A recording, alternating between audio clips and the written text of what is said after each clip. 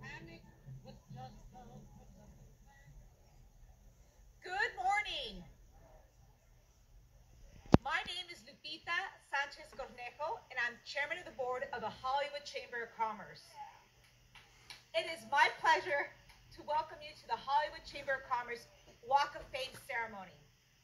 The Hollywood Chamber has proudly hosted the globally iconic Walk of Fame since 1960. The Chamber transforms business and improves the livelihood of communities. Today, we are celebrating, a business that transforms us. That's show business. Show business is a unique blend of art and business. It is beyond entertainment. It elevates us and inspires us all. That is why we are here today and why we're so proud to host you on the Hollywood Walk of Fame. Before we start, I'd like to give a shout out to our fans watching from around the world on our live stream presented by our media partner, Variety. Today, Hollywood honors Jefferson Airplane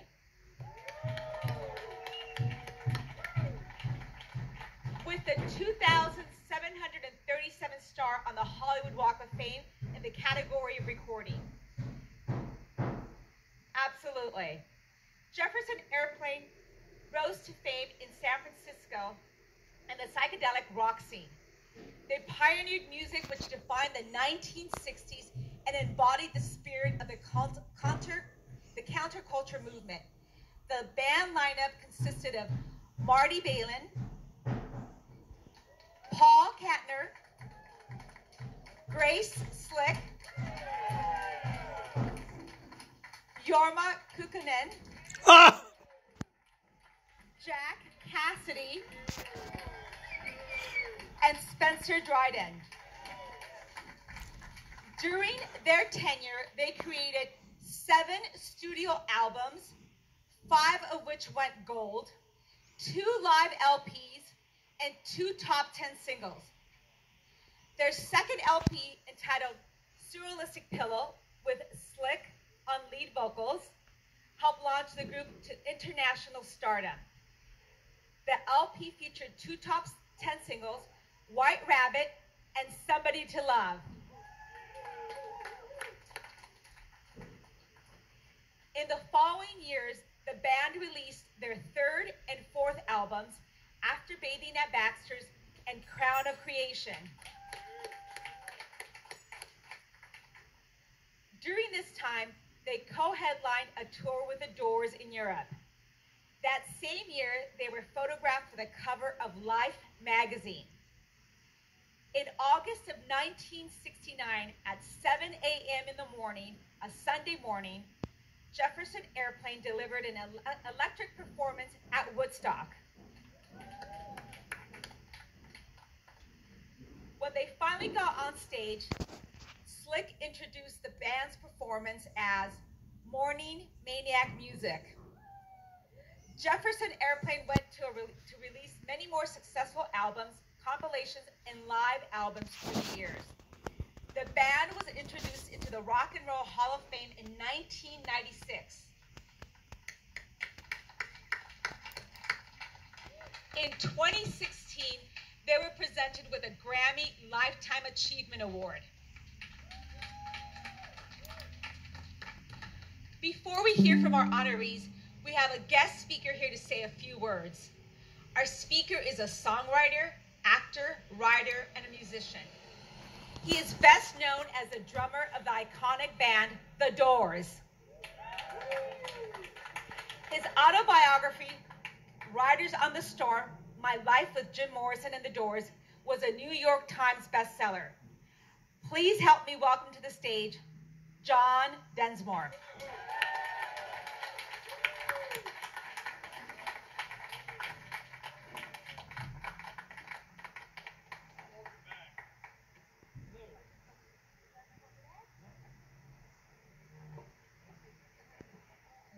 Yeah. I'm not awake, but I like doing speeches in the alpha state. Um, so I'm going to talk about the individual members of the Jefferson Airplane in the present tense. I know that a few of them have broke on through to the other side, but musicians' spirits tend to hang around, especially today. So I'm sure that those airplanes who have crossed over are hovering. Okay, first I'm going to speak about the most important member of this band the drummer. Spencer Dryden, sweet guy, very talented, musical, very musical. Next, um, for a few years now, I've been uh, I've been yearning for a hot tuna sandwich, and uh, that means hearing Jorma and Jack live. Why? Because they're really good musicians. Okay, there's the rhythm section. Now, on top of that, you put Marty's beautiful ballads, great voice. Um, then there's Paul Kantner, real smart, creative, intuitive. I mean, you know, they morphed into the Jefferson Starship. He must have known that they were going to get a star, you know, on Hollywood Boulevard. Uh, finally, um, um, Grace. What a mouth! I, I mean, singer. Uh, very opinionated, which I like. Great pipes. So, yeah, uh, the Doors and the airplane did uh, do a tour of Europe. I think it was called the West Coast Psychedelic Sound Comes to England or something.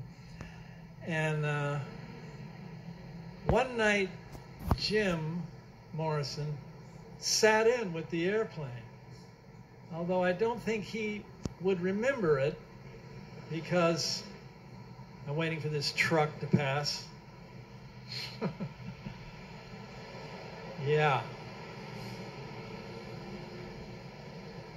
So we were equal billing, and, and uh, we opened one night, the airplane opened another night, and uh, this particular night, the airplane opened, and I'm sitting in the dressing room, I, and and they're playing, and I'm backstage, but uh, I don't know that Jim has hopped up there and jumping around, and then through the doorway, I see Jim being carried on a stretcher to an ambulance, and we're about to go on. Yeah. Oh my God. So back to the airplane. The Jefferson airplane had a big, full rock sound with many different voices on top, really strong, really admirable. Uh, you guys completely deserve this star, and I aspire to be the first one to step on your star. Congratulations.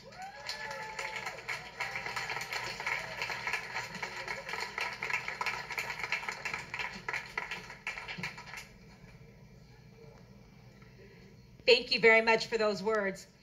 We have a few chamber VIPs in the audience today. President and CEO of the Hollywood Chamber of Commerce, David Michael Jerome. And my board colleagues, Matt Fritsch and Otto Padron. We'd also like to thank the Musicians Institute for their help with today's ceremony. Hollywood Chamber of Commerce administers a Walk of Fame on behalf of the City of Los Angeles. On behalf of Los Angeles City Council President Mitch O'Farrell, I'd like to present you with a beautiful resolution on behalf of the city, and I'll come down.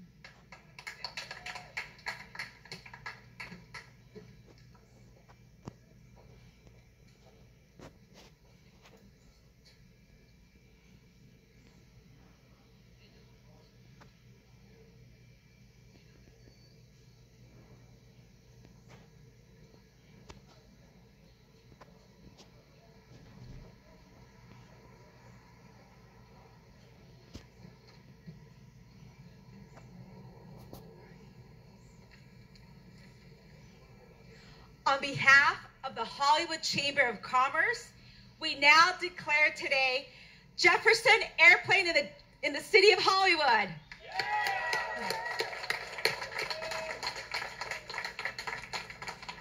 It's now time to introduce three of the members who are accepting on behalf of the group. Jorma, Jack, and Grace. So we're gonna go.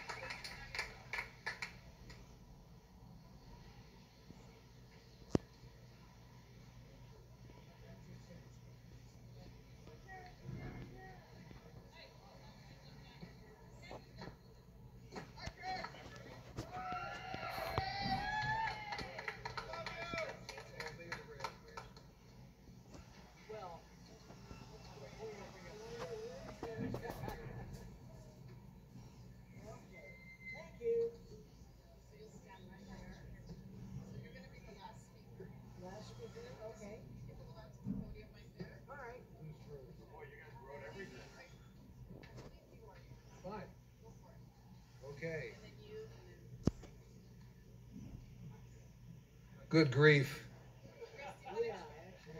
Yeah, who knew? Who knew indeed? So, so yeah, for a guy that's uh, spent his entire life making a fool out of himself and other in front of other people and got really comfortable with it, there's nothing more nerve-wracking than public speaking. So I'm thinking, uh, what what did my wife say? Don't talk too fast, all that stuff. All right, I'll do my best. Anyway, here we go. First of all, we got to send big thanks out to Jeff Jampol and Associates. None of this would have happened without them. Thanks, guys. Appreciate it so much. Uh, thanks to John Densmore of The Doors for this introduction. Paul Williams of Crawdaddy collared me around the time of Monterey Pop, told me to listen to your first album. He said it would be the most innovative rock album I would be likely to hear, and he would not be wrong. Thanks, brother. Appreciate it for that one. When I think about our old band, Jefferson Airplane, at moments like this, I think of what I consider to be the core members from those early Halcyon years. Grace Slick, Marty Balin, Paul Kantner, Spencer Dryden, Jack Casady, Signe Anderson also, may she rest in peace, and myself. Marty, Paul, Spencer, and Signe are sadly gone, but they will not be forgotten. It's a blessing to be still standing here with longtime friends, Grace and Jack. We all traveled many miles together making music. Only touring musicians will fully appreciate this bond. It's one that can never be broken. Today, we're practically around the corner from the Mark Twain Hotel on Wilcox, where the band spent many nights before recording at the RCA studios at Sunset and Ivar a lifetime ago. LA was a home away from home as we recorded back then, and in an odd way, it is still home. All those early times have become zeitgeist for me today. We were all young together in those moments, and we're fortunate not only to make music, to make music that the world would hear, as an artist who could want for more. My father was an Angelina. We grew up in Lincoln Heights, and he and the rest of the Kaukonens who came west a century ago are buried here. Mom is too. Dad complained about my choice of an occupation early in my career.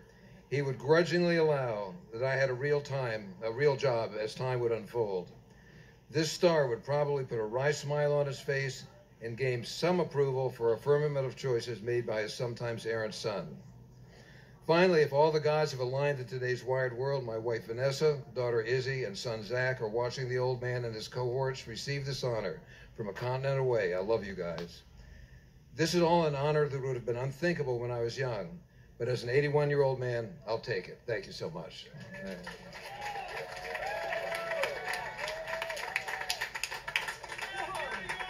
Good work, Jorma. Well, lower the microphone. How's this? Everybody's a director here in Hollywood. All right. Well, I'd like to thank Jeff and staff and, and the unbelievable, unbelievable positioning of our, our, our star here in front of the Music Institute. I think it's apropos. I was reminded of when we came down here in 1965. I think we might have even even rehearsed once in the the uh, AFFM Music Hall, which is quite different than this facility we're looking at to my left here. But um, as I look around, oh, that's right. We have a drummer over here. We have a bass player. We have a guitar player. We have a singer. Hey, you want to start a band? It's not too late.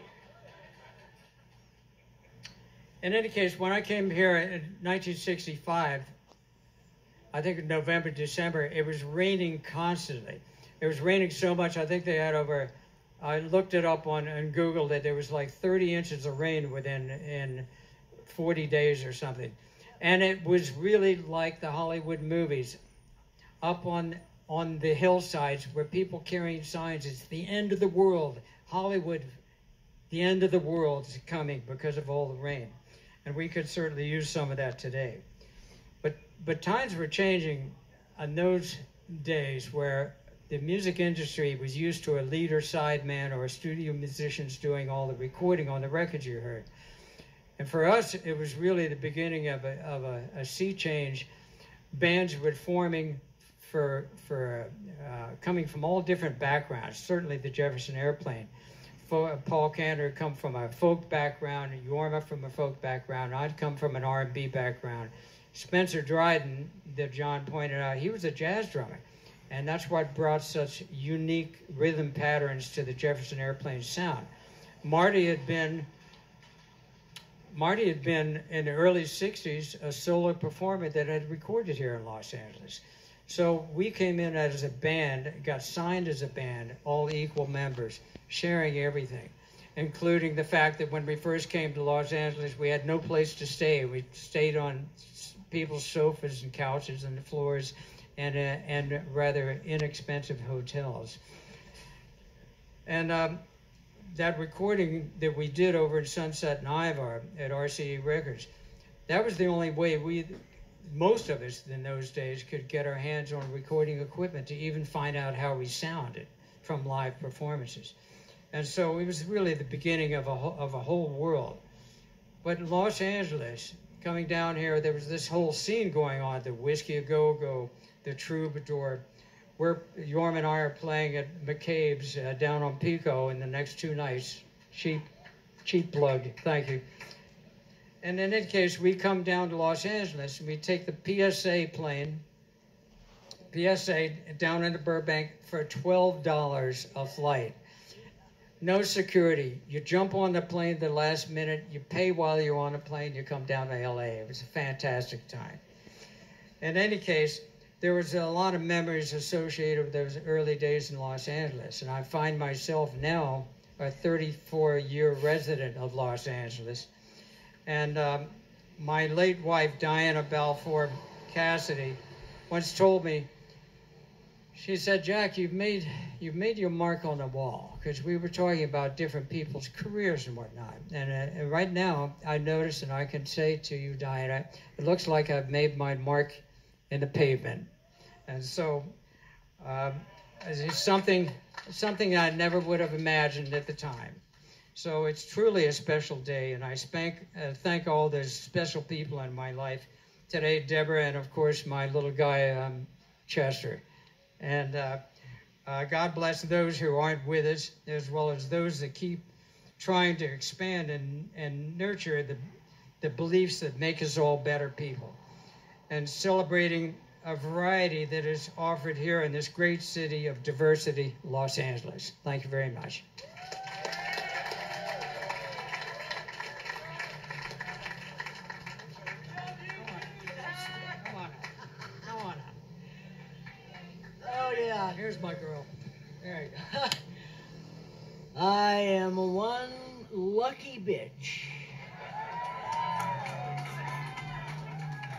Tell you why.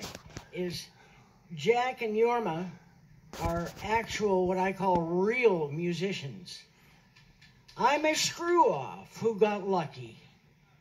Now, my mother was a singer, so I went to see Jefferson Airplane play in a little club called the Matrix in San Francisco.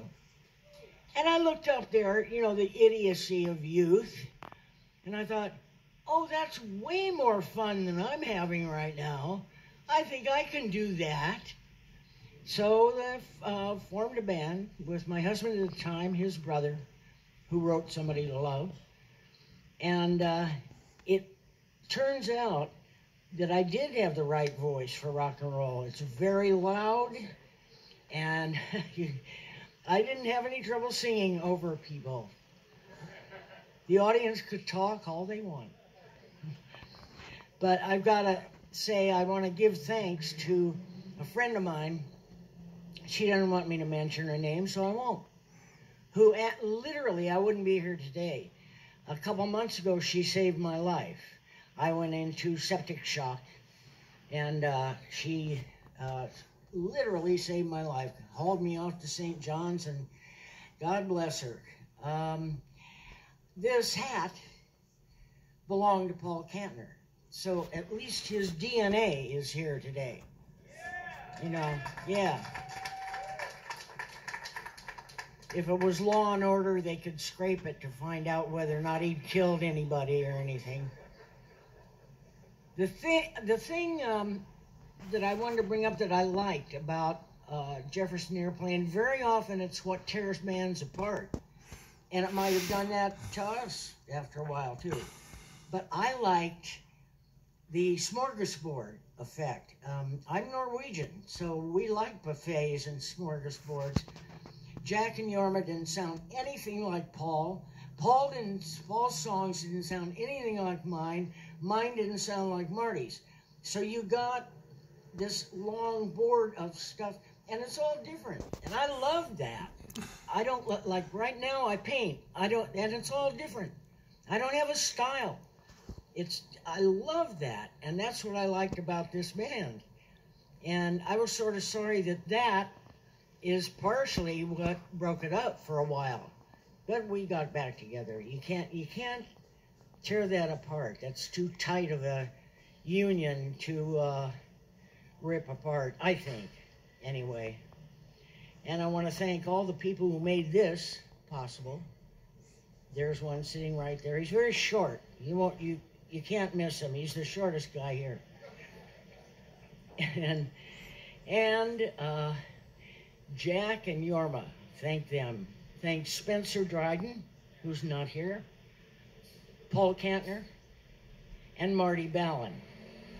Marty didn't want some other singer coming on, but he did pretty well with not punching me in the face. You know, none of the guys I sang with ever wanted uh, anybody else to have, but they they were accommodating. Uh, th- this is kind of silly in the face of what's going on in the world. Okay, there are much more important things going on, but I still love it. Thank you.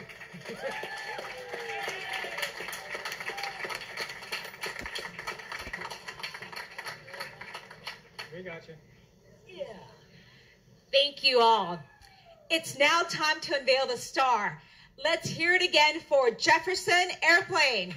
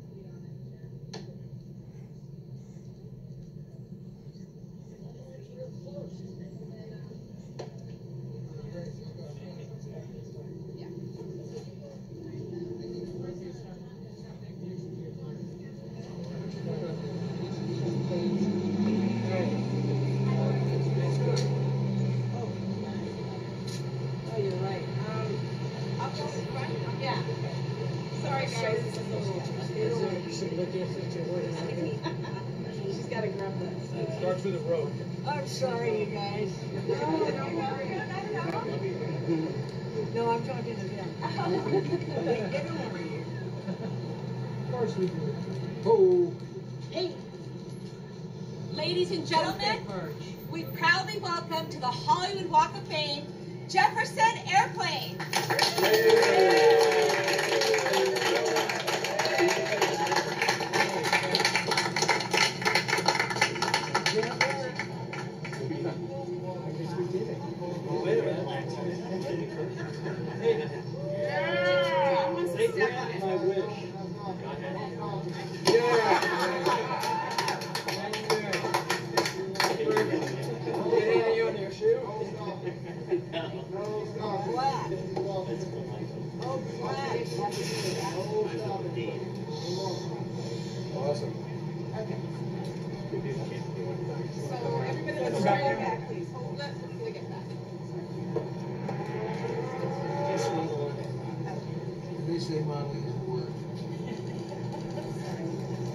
Did everybody up here to your?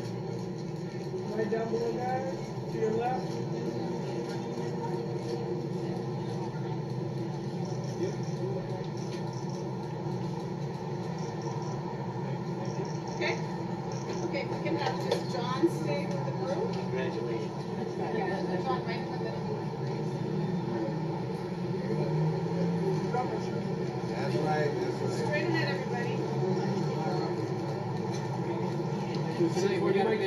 just a little bit. Yeah. Just step forward, John, so you're out of the sun.